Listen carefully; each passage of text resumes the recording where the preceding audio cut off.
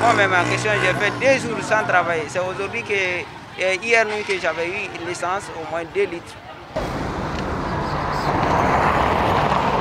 Ah bon, le déplacement maintenant de la ville jusqu'au pour aller au point souhaité, c'est pas facile.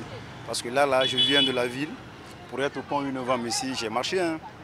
Et puis les taximètres qui sortent aussi, ils disent que c'est au pont 8 novembre, ils se limitent. Donc, tu es dans l'obligation de marcher. Jusqu'à arriver au pont 8 novembre, emprunter un taxi ou prendre une voiture pour rentrer chez toi.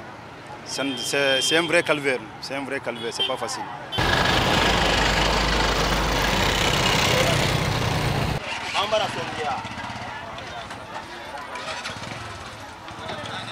Euh, pour le moment, euh, crise euh, nationale. C'est pas facile de gagner l'essence, mais nous les motards, on s'aime. Les anciennes voitures euh, garées à la casse, c'est là-bas on passait par connaissance, on demande ceci, et d'avoir si ils ont au moins de l'essence dans leur voiture, c'est là-bas on, on prenait l'essence. Quand un ami prend au moins 2 ou 3 litres, s'il a 2 ou 3 litres dans sa moto, lui, il peut offrir au moins 1 litre. Parce qu'il y a un monsieur qui me dit que si ça continue comme ça, il n'y aura plus d'essence. Ils doivent donner des essences. Et si ça continue comme ça, nous rentrons dans une crise. Nous rentrons dans une crise. Alors, c'est un peu grave. Le gouvernement doit essayer de voir et dites aux, aux jeunes qui sont au niveau des, pompistes, des pompistes, d'ouvrir un peu les stations, donner un peu de carburant aux jeunes. Ce qu'ils ont dit, ils ont raison.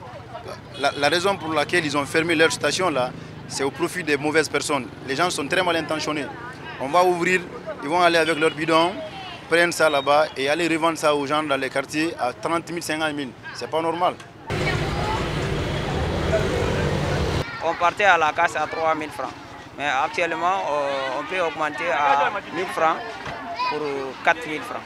Moi, le matin, je suis venu avec un médecin, il m'a retiré 8 000 francs. 8 000 francs, j'ai payé. Bon, vous savez, quand il y a une situation comme ça, chacun profite. Alors, c'est pas normal. Les gens profitent, c'est le profit. C'est pas normal, c'est le gouvernement qui doit intervenir dans ce, dans, dans ce cadre.